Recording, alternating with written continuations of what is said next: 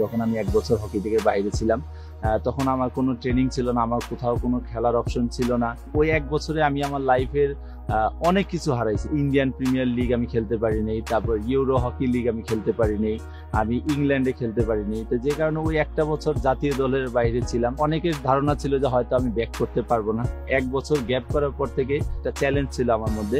যে আমি ব্যাক করে আমাকে আমি নিজেকে এমনভাবে শো করব যে আমি লাস্ট থেকে এখন আরও বেটার পারফর্ম করতে পারি।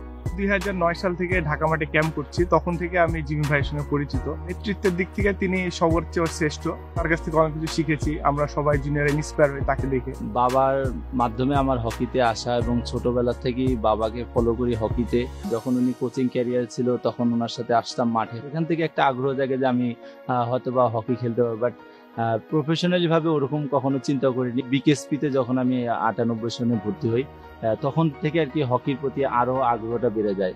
তারপরে ওখানে ছয় বছর ট্রেনিং করলাম। দুই হাজার তিন সালেই আমি জাতীয় দলে শুরু করি এবং সবচেয়ে বড় ব্যাপার আমার গৌরবের ব্যাপার যে যে যখন আমি শুরু করি আমার বাবা ওই টিমের কোচ ছিলেন। ফরওয়ার্ড লাইনে বলতে গেলে তার বিকল্প এখনও বাংলাদেশে প্লেয়ার এখনও আর কি তৈরি হচ্ছে না হয়নি।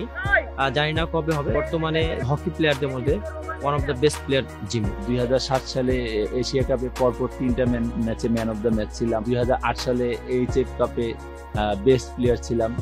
লোকালি বলে ইন্টারন্যাশনাল বলে অনেক অ্যাওয়ার্ড পেয়েছি আলোর মধ্যে ইউরোপের যতগুলো টিম আছে, প্রত্যেকটা প্লেয়ার ইনডোর এবং ফিল্ড হকি দুইটাই খেলে। যে কারণে তাদের স্কিল বলেন বলের কন্ট্রোল বলেন, প্রত্যেকটা জিনিস ভালো। কারণ ইনডোর হকি হচ্ছে একটা ছোট জায়গার খেলা।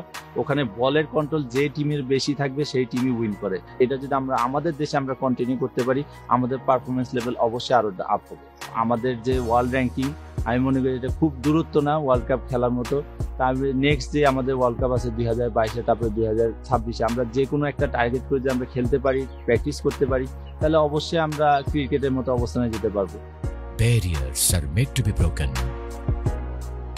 He breaks barriers.